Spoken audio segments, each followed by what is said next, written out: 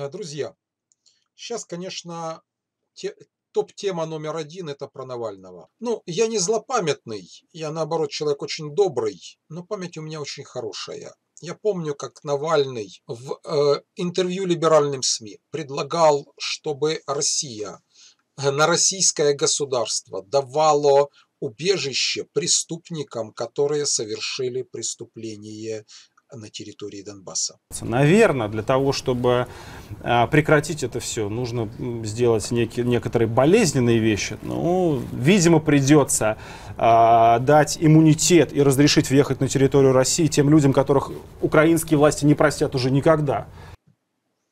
Те люди, которые совершили тяжкие преступления и которым не может быть дано какое-либо прощение по законодательству Украины, люди, совершившие тяжкие преступления, именно этих людей Навальный предлагал дать им убежище в России и спасти их от ответственности за совершенные тяжкие преступления, за убийство, за насилие, за пытки и за другие преступления против человечности. Мы это должны всегда помнить.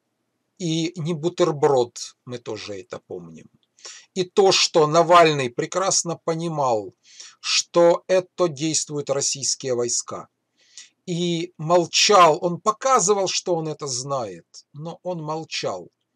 Навальный не поднимал тему э, войны э, России на России против Украины.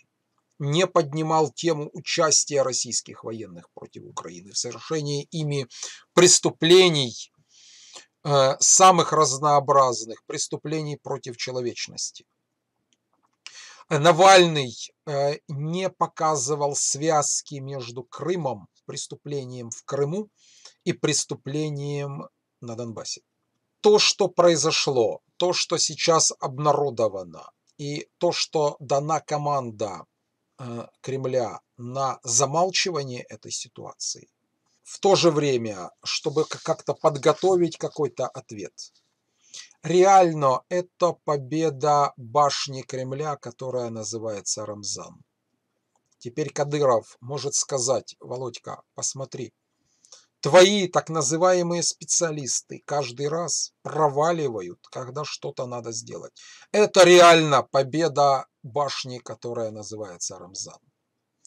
А кроме того, самым главным моментом в этой всей истории является то, что у населения, у подавляющего большинства населения России обнародованные факты, даже пока с, без объяснения Кремля, но уже им навязывается игра, которая называется «Вы все врете». Население на российский народ, подавляющее большинство российского населения, прекрасно понимает, что именно Кремль, именно Путин виновен в отравлении Навального. Это они понимают по большинству где-то в глубине души.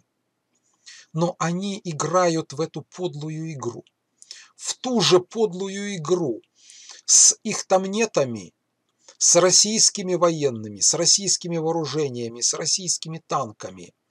В эту же подлую игру они точно так же играют с небутербродом Навальным. Они поддерживают. Путину повезло со своим населением, а Навальному пока нет. Но Навальный – это такой же имперец, как и Путин. Их задача сейчас – это вот показать, что это ГБшная гадюка, это ГБшная совершенно омерзительная и опасная в своей омерзительности змея, что она якобы может поменять кожу. Навальный – это новая кожа для ГБшной змеи. Задача сейчас Кремля, задача ГБНИ – это показать, что мы уже теперь поменяемся. Достаточно поставить Навального, вот этого уже теперь либерального, в кавычках, фюрера. И вот эта вот змея, она станет белой и пушистой. она э, будет мимикрировать, она пойдет на какие-то демонстративные, ничего не значащие вещи в отношении Запада. И Запад это схавает. Задача ГБшной этой змеи э, сделать так, чтобы Запад схва, схавал вот эту вот приманку. А вот эту вот кожу, которая имитирует белую пушистую змею, чтобы это Запад принял за правду.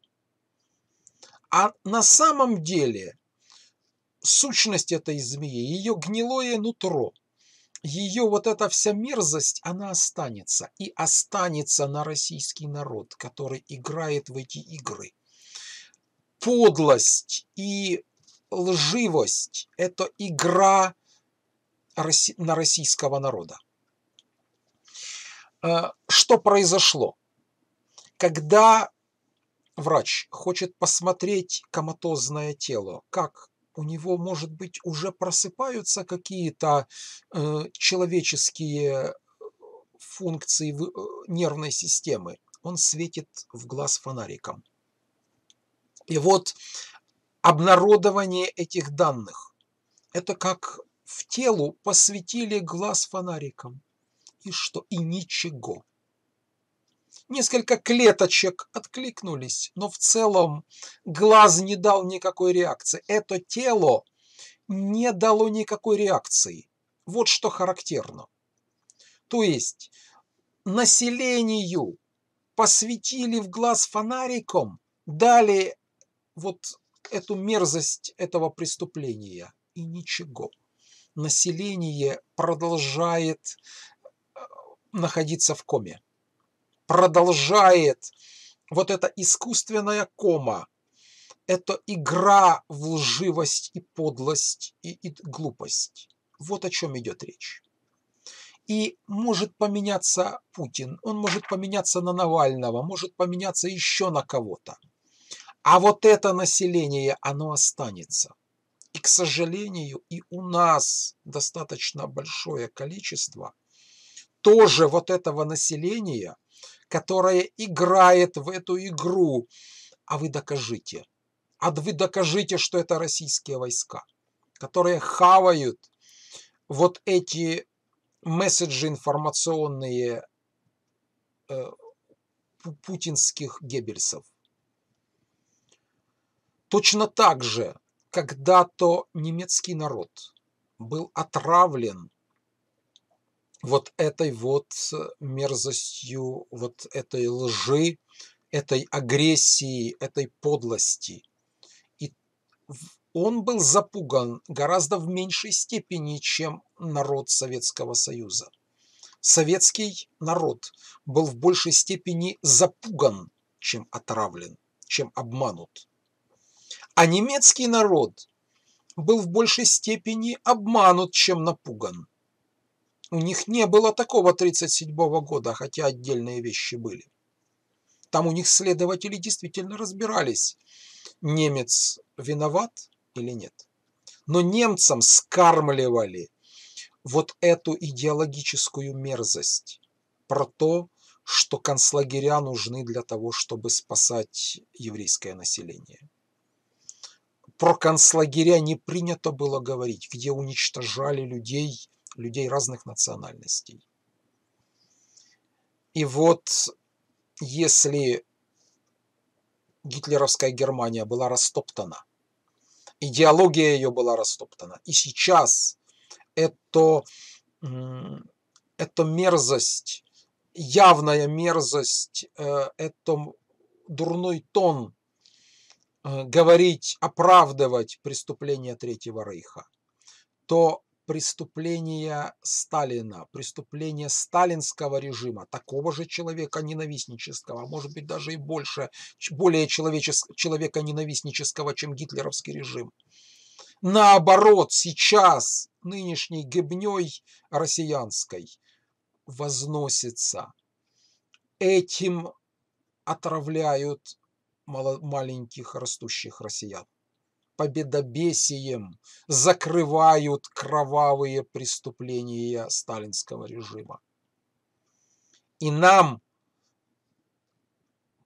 продолжать жить с этим народом, быть соседями. Ни один народ, наш сосед, не стал проявлять такую же мерзость, подлость и гадость, как народ Российской Федерации. Именно поэтому Путину был дан карт-бланш на агрессию, на убийство, на развязывание агрессивной войны и на вот эту всю мерзость и преступление против человечности. Вот и мы видим реакцию на российского народа. Вот что можно сказать. А то, что система сгнила, то, что их э, спецслужбы сгнили, и единственное, что они могут, это нападать на соседей тогда, когда соседи не могут полноценно защищаться. Вот о чем идет речь. Россия современная путинская Россия и Россия, по всей видимости, будущего, Навальнинская Россия, если он придет к власти, или еще какая-нибудь Медведевская Россия, это будет все равно Россия, если только не будет э, суда, подобного Гаагского суда, подобного Нюрнбергскому трибуналу, если не будет наказано вот это зло, не будет наказано это преступление, она будет точно такая же, как и путинская Россия. Она может затаиться, но ее основа останется вот это вот гнилое сердце и сгнивший мозг этого медведя-шатуна, он останется таким же точно медведю-шатуну необходимо нападать на слабых, на тех, кого он может напасть. Это необходимо медведю-шатуну. Он сдохнет, медведь-шатун. Но он хочет еще немножечко пожить. И это образ современной путинской и будущей Навальнинской России. Вот о чем идет речь. Дякую вам, друзі А нам своє робить. Зберігайте спокій і допомагайте чистити кулемет. Дякую вам, друзі.